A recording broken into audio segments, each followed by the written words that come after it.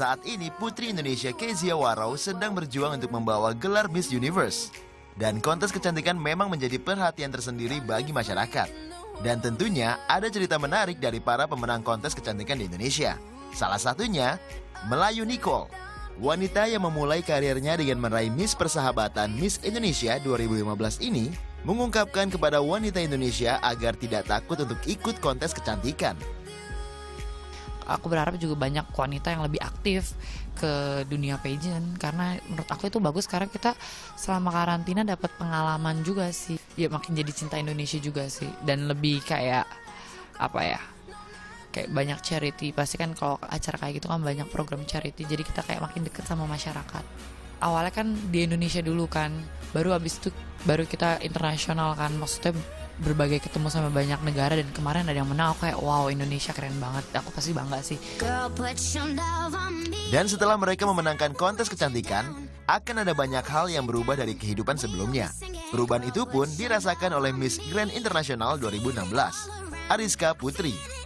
Kalau perbedaan sebenarnya jelas berbeda karena dari mulai um, tinggal aja sekarang sudah berbeda bukan di beda kota tapi udah beda negara. Sekarang saya sudah stay di Thailand selama satu tahun ke depan.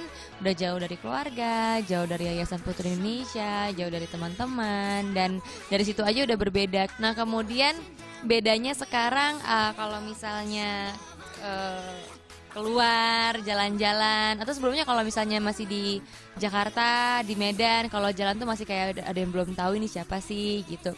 Tapi sekarang kalau misalnya udah jalan uh, pada bilang Ika Miss Grand International right? Langsungnya oke okay, take a picture. Jadi ya mungkin dari situ aja kayak oh sekarang udah gitu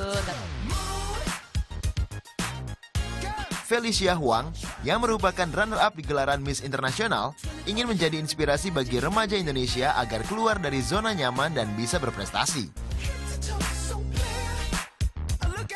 ingin sekali supaya bisa merubah sebuah pemikiran mungkin kalau misalnya remaja-remaja yang sulit untuk keluar dari zona nyaman dan um, sulit untuk melakukan hal-hal yang baru saya ingin sekali menginspirasi mereka karena ini um, prestasi ini yang saya dapat um, ketika saya keluar dari zona nyaman saya. Lalu tidak hanya berparas cantik, para pemenang kontes kecantikan juga harus memiliki bakat. Sebagaimana yang diceritakan oleh dua sahabat alumni Putri Indonesia, Artika Sari Devi Kusmayadi dan Wulan Dari Herman